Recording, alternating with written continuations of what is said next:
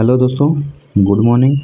तो आज है ट्वेंटी एट सितंबर, यानी अट्ठाईस सितंबर 2023 है। तो आज का क्या क्या करेंट अफेयर बन सकता है, चलिए इस वीडियो के माध्यम से देख लेते हैं।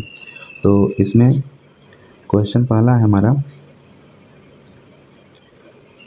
हाल ही में किस राज्य सरकार ने प्राकृतिक खेती खुशहाल किसान योजना, पी के थ्री वाई को बढ़ावा देने के लिए मोबाइल वैन कार्यक्रम शुरू किया है। तो कौन किया है? आंसर हो जाएगा आपका, हिमाचल प्रदेश। जो हिमाचल प्रदेश है, हिमाचल प्रदेश द्वारा प्राकृतिक खेती खुशहाल किसना, किसान योजना के लिए मोबाइल वैन कार्यक्रम का शुभारंभ किया किया गया है। ठीक है? हिमाचल प्रदेश सरकार द्वारा। ठीक है? तो क्वेश्चन दूसरा देख लेते हैं। प्रश्न दूसरा हमारा, हाल ही में किस राज्य सरकार, किस राज्य में पहला लाइट हाउस उत्सव शुरू हुआ है? तो किस राज्य में हुआ है? गोवा राज्य में हुआ है, ठीक है? गोवा राज्य में क्या हुआ है? पहला लाइट हाउस उत्सव शुरू हुआ है गोवा राज्य में, ठीक है? राइट आंसर हो जाएगा गोवा राज्य। क्वेश्चन अगला देख लेते हैं। हाल ही में, ठीक है, क्या है? हाल ही में किस अभिनेता को Satyajit Ray film and television institute के गवर्निंग काउंसिलिंग के अध्यक्ष के रूप में नामित किया गया है? तो किसको नामित किया गया है? आपका राइट आंसर हो जाएगा सुरेश गोपी को, जो सत्यजीत रे है। सत्यजीत रे है, देख सकते हैं। Satyajit Ray film and television institute के गवर्निंग काउंसिलिंग के अध्यक्ष के रूप में नामित किया गया है। किसको? सुरेश गोपी को। ठीक है? सुरेश गोपी को नामित किया गया है। प्रश्न अगला है, हाल ही में कौन ट्वेंटीवें यानी बीसवें राष्ट्रीय पुस्तक मेले की मेजबानी कर रहा है? ठीक है तो कौन कर रहा है? आपका लखनऊ कर रहा है। ठीक है? ऑप्शन सही हो जाएगा लखनऊ का।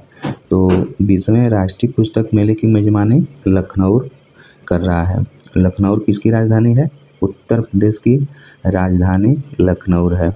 तो मुख्यमंत्री कौन है? योगी आदित्यनाथ हैं। ठीक है? योगी आदित्यनाथ हैं। बात करें यहाँ पे लोकसभा की सीट तो लोकसभा सीट कितनी है? अस्सी सीट होती है। और राज्यसभा की सीट सॉरी, विधानसभा की जो सीट है, वो आपका चार सौ तीन होती है। ठीक है? तो इसको आप याद रखेंगे। प्रश्न अगला है, हाल ही में एक्सिस बैंक ने M S, M E S के लिए किस प्लेटफॉर्म को लॉन्च किया है? तो किसको लॉन्च किया है? Neo for business. ठीक है? नियो फॉर बिज़नेस को लॉन्च किया है।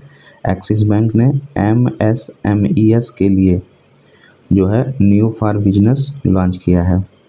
ठीक है? राइट आंसर हो जाएगा न्यू फॉर बिज़नेस क्वेश्चन अगला है। हाल ही में विश्व कुश्ती चैंपियन 2023 में किस भारतीय महिला पहलवान ने कांस्य पदक जीता है? तो कौन जीता है? अंतिम पंघाल ने जीता है। ठीक है? राइट आंसर हो जाएगा अंतिम पंघाल ने जीता है कुश्ती चैंपियन 2023 ठीक है? भारतीय महिला पहलवान है, जो कांस्य पदक जीती है, अंतिम पंघाल। राइट आंसर हो जाएगा, अंतिम पंघाल को कांस्य पदक जीती हैं। ठीक है, ये भारतीय महिला पहलवान है। क्वेश्चन अगला है, हाल ही में कहाँ में पहला आसियान संयुक्त सैन्य अभ्यास A S E X zero one N का आयोजन किया जाएगा?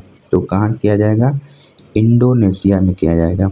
ठीक है? इंडोनेशिया में आसियान संयुक्त सैन्य अभ्यास, S X zero one N का आयोजन किया जाएगा इंडोनेशिया में। ठीक है? याद रखेंगे। प्रश्न अगला हमारा, हाल ही में किस जानवर को खाद्य पशु का टैग मिला है? ठीक है? किस जानवर को खाद्य पशु का टैग मिला है? तो मिथुन, जो मिथुन जानवर है, मिथुन जानवर को खाद्य पशु का टैग मिला है। ठीक है ना?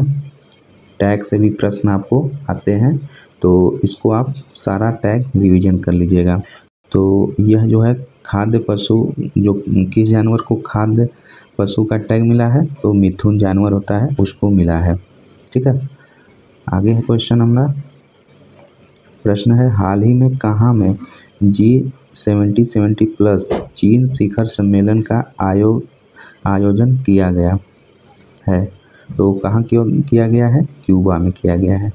क्यूबा में दोस्तों, जी सेवेंटी सेवेंटी प्लस चीन शिखर सम्मेलन का आयोजन किया गया है। कहाँ पे? क्यूबा में किया गया है। ठीक है?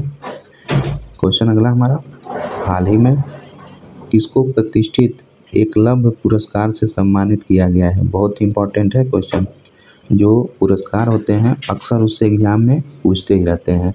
तो हाल ही में किसको प्रतिष्ठित एकलव्य पुरस्कार से सम्मानित किया गया है। तो किसको किया गया है? तो राइट आंसर हो जाएगा, पलक शर्मा को किया गया है। ठीक है? जो एकलव्य पुरस्कार होता है, उससे सम्मानित किया गया है पलक शर्मा को। ठीक है? इसको आप याद रखेंगे, पलक शर्मा को किया गया है। तो आज का लास्ट क्वेश्चन देख लेते हैं। अंतिम प्रश्न, हाल ही में मल्टीप्लेक्स एसोसिएशन ऑफ़ इंडिया ने कब नेशनल सिनेमा डे मनाने की घोषणा की है। तो कब की है? तेरह अक्टूबर को। तेरह अक्टूबर को मल्टीप्लेक्स एसोसिएशन ऑफ़ इंडिया ने नेशनल नेशनल सिनेमा डे मनाने की घोषणा की है कब? तेरह अक्टूबर को। ठीक है दोस्तों तो आज के लिए बस यहीं तक रहने देते हैं। तो वीडियो आपको कैसा लगे, कमेंट मार्क्स, कमेंट बॉक्स माध्यम से ज़रूर हमें बताइएगा। और हम डेली मॉर्निंग में एलेवन टू टेन क्वेश्चन जो इम्पोर्टेंट बन रहा होता है डेली जो इम्पोर्टेंट बन रहा होता है, उसको इस वीडियो के माध्यम से हम आपको कवर कराते हैं। तो आप अगर हमारे चैनल पे पहली बार जुड़े हैं तो सब्सक्राइब ज़रूर कर लीजिएगा। और ख़ासकर जो इलेक्ट्रिकल ग्रुप के जो भी बच्चे हैं तो इस वीडियो को ज़्यादा से ज़्यादा फॉरवर्ड करिए। और हमारे चैनल से नहीं जुड़े हैं, सब्सक्राइब नहीं किए हैं तो ज़रूर सब्सक्राइब कर लें। बहुत ही लाभदायक हो गए आपके लिए चैनल, क्योंकि इलेक्ट्रिकल और इलेक्ट्रीशियन का सारा क्वेश्चन वीडियो हम ऑलरेडी इस पर अपलोड कर दिए हैं और अपलोड करते ही रहते हैं। तो चलिए फिर मिलते हैं नेक्स्ट वीडियो में। तब तक के लिए अपना ख्याल रखिए, मस्त रहिए। जय हिंद, जय भारत।